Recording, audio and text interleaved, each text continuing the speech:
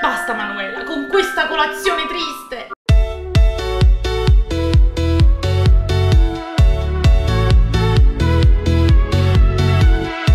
Personale della squadra volante del commissariato di pubblica sicurezza di Cava dei Tirreni ha indagato in stato di libertà per il reato di riciclaggio aggravato un pregiudicato sottoposto alla misura detentiva alternativa degli arresti domiciliari e già recidivo di reati della stessa natura. Infatti i poliziotti ieri mattina, nel corso di un'ispezione presso l'officina di proprietà dell'uomo, dove questi era stato autorizzato a svolgere l'attività di carrozziere, hanno effettuato approfonditi controlli su alcune vetture in fase di lavorazione. Tra queste vi era una Chrysler parzialmente smontata smontata il cui numero di targa non corrispondeva con il numero del telaio. Sul veicolo erano in corso operazioni di modifica sostanziali. Infatti risultavano saldate le portiere posteriori e sostituiti i finestrini posteriori con lamiere. Anche il lunotto posteriore era stato sostituito con una lamiera e il colore dell'autovettura appariva modificato. Inoltre non erano presenti il documento di circolazione ed il targhettino identificativo della casa costruttrice. In un vano deposito creato all'interno di un soppalco della carrozzeria, tra l'altro l'altro sono stati rinvenuti numerosi pezzi in ottime condizioni, riconducibili a diversi veicoli di svariate marche, privati dei relativi identicard e di illecita provenienza. Così gli agenti hanno provveduto a sottoporre a sequestro penale l'auto e i pezzi. L'uomo era già stato tratto in arresto nello scorso mese di giugno dai poliziotti del commissariato meteliano